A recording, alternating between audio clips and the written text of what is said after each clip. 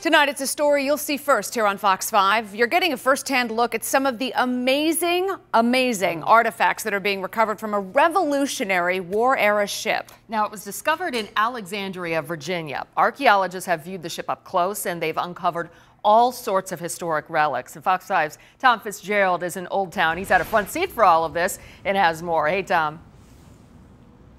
Hey, good evening. This has been incredible. You know, archaeologists tonight are calling this Alexandria ship a gold mine. Look at this. It's a pendant they found in the planks. It is more than 200 years old. It is just one of the many artifacts they have been pulling out of this ship for days now as archaeologists try to piece together the mystery of how this ship from the Revolutionary War is now giving up its secrets here in 2016.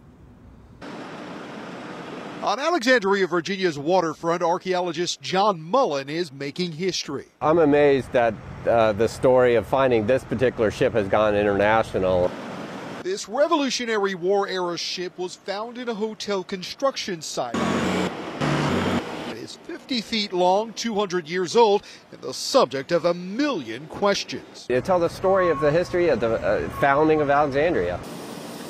Workers from Wetland Thunderbird Archaeology are slowly sifting and brushing every inch of this vessel. We've removed all of the timber uh, frames uh, piece by piece carefully. Our camera even captured one worker as he dug out a colonial era pipe completely intact. That's a rare thing. We usually find things broken up into, into lots of pieces. We find pipe stems all the time, but finding an intact one is it's pretty unique. But you know, finding this ship was only the start. Experts will tell you what they found inside has been an archaeological treasure trove.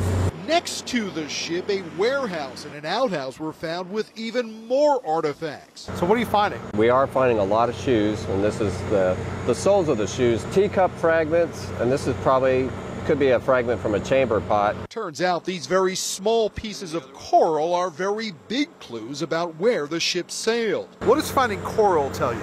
Well, uh, it tells us that the ship, and that's where this came from, uh, probably sailed down to the Caribbean. In fact, after 200 years, the ship will be heading back to water, a preservation tank, as John and his crew continue their journey to study it. This is great. This is what we all do this for finding stuff like this ship.